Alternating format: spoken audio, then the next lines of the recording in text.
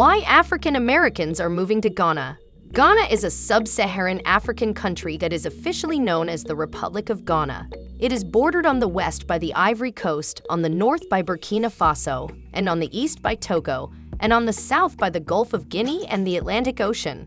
Ghana spans 238,535 square kilometers and is home to a diverse range of biomes, from coastal savannas to tropical rainforests. With around 31 million people, Ghana is the second most populous country in West Africa after Nigeria. Accra is the capital and largest city of Ghana. Kumasi, Tamale, and Sekondi Takoradi are also important cities. Accra, Ghana's capital, is estimated to have between 3,000 and 5,000 African Americans. They are teachers in rural communities in the West or entrepreneurs in the capital, and they claim that despite the challenges of living in Ghana, they feel free and protected. The majority of these African Americans are returning to Africa for a variety of reasons that are only known to them. Others complain about racial segregation, while others claim that educational qualities are undervalued because they work for little or no pay. Today, we'll travel to Ghana to learn more about why African Americans are returning to the country. As we travel, please like and subscribe to Africa Reloaded.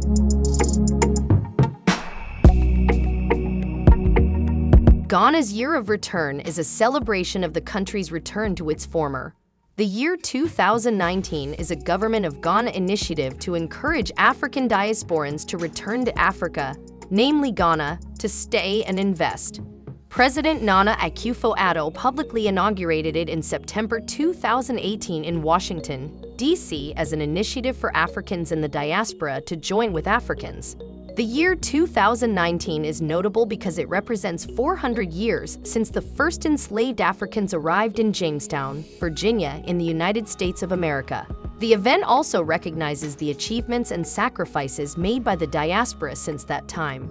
PANAFEST, Ghana's biannual Pan-African Historical Theater project, has invited African Americans and others from the African diaspora to Ghana since 1992, and it will be a part of Ghana's Year of Return celebrations in 2019. Accra and Cape Coast, among other locales, host the festival. The festival's purpose is to promote African solidarity, Pan-Africanism, and the continent's development. This festival features performances and work in the disciplines of theater, theater, music, and poetry, among other things. There are also trips to a number of important locations, such as the Slave Fortress Dungeons and the Leaders Durbar.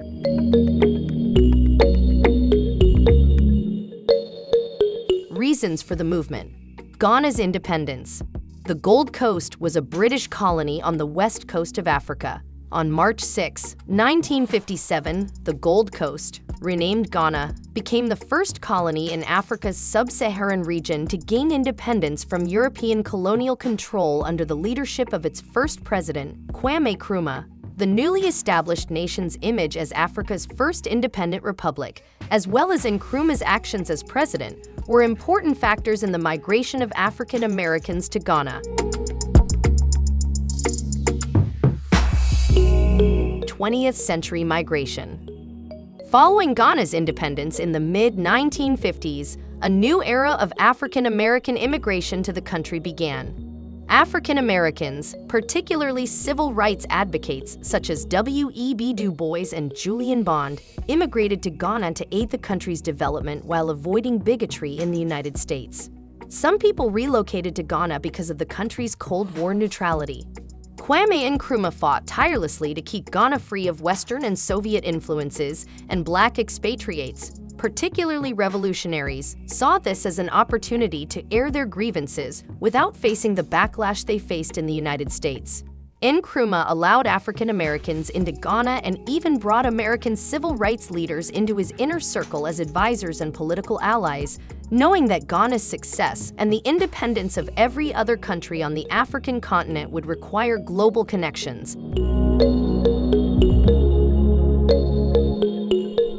African American perspective of Ghana.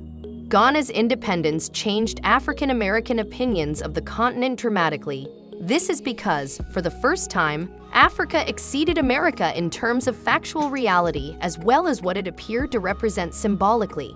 Ghana became the new promised land for African Americans as a result. When Ghana became a free country, it carried with it the aspirations and dreams of Africans. For African Americans, Ghana was a source of inspiration, indicating that Africa was not the barbaric place that it was supposed to be. It forced African Americans to rethink their attitudes toward post colonial Africa and its prospects. Ghana served as a haven for African Americans fleeing discrimination in the United States, as well as the reaction they got for denouncing the racist American society.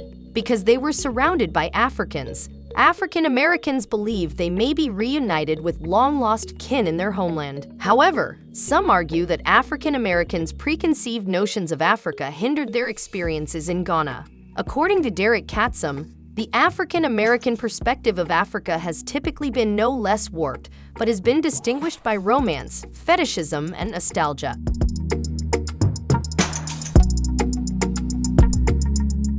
African American involvement in Ghanaian politics.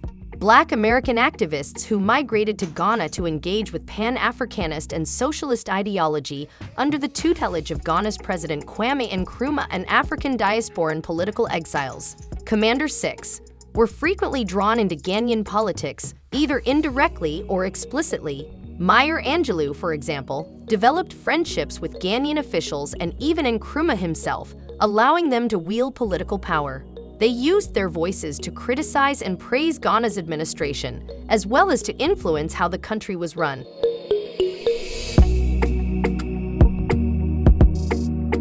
Ghanaian culture. The African American Association of Ghana is one of the organizations established to assist Ghana's Afro Americans. These institutions provide African Americans with a sense of belonging. They're in a place where they won't be left out.